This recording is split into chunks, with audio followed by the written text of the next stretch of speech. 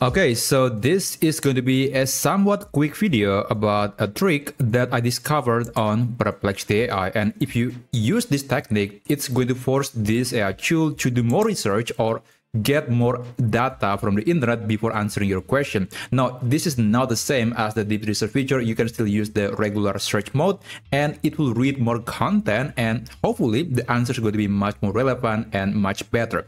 So before I show you the technique, let me show you one example about a question that I asked to Perplexity. So the question was, give me three major downsides of this product called Insta360 Link. This is basically just a webcam product. Now, according to Perplexity, on this thread, uh, the three points are unreliable AI tracking performance, and then there is a problem with heat generation, and lastly, there is the issue with software and stability. So that's the three downsides of this product based on this Perplexity research.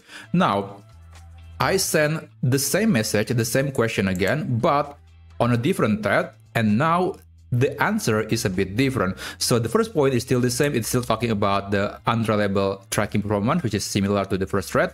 Then on the second point, it says recurring connectivity and stability issues, and that's not something that was that was mentioned on the first thread.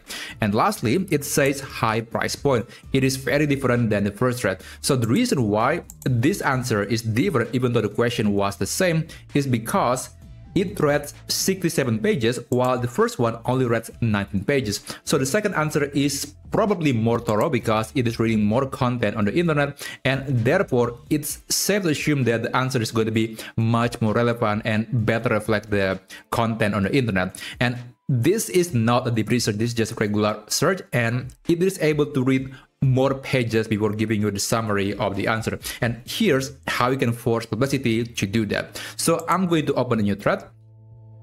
And here, let's say I want to know the price of a house in Hong Kong. So let me just get the median home price in Hong Kong.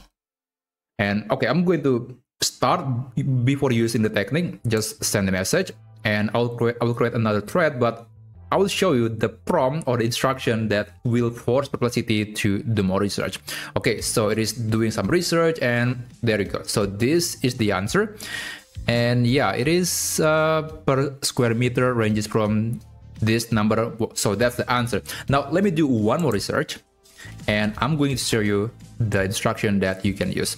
So the question is still the same, median home price in Hong Kong. And then later, I'm going to add this simple instruction. Repeat the search process four times. It could be three times, four times, five times. It's up to you with different related keywords. And you can actually change this with let's say different language or different market or different use case it's up to you depending on the question that you're asking to perplexity now i'm going to send uh, the, the message and you'll see that the search process will happen multiple times. So the previous one only happens once, but this will happen at least four times. So this is the first one. This is the second one. And let me just wait. This is the third one. And there should be another one here. The fourth search. There you go. So four times it is searching the internet. Not just once it will do more research and as you can see the number the number of sources is more than the first thread so that's the benefit of using this technique.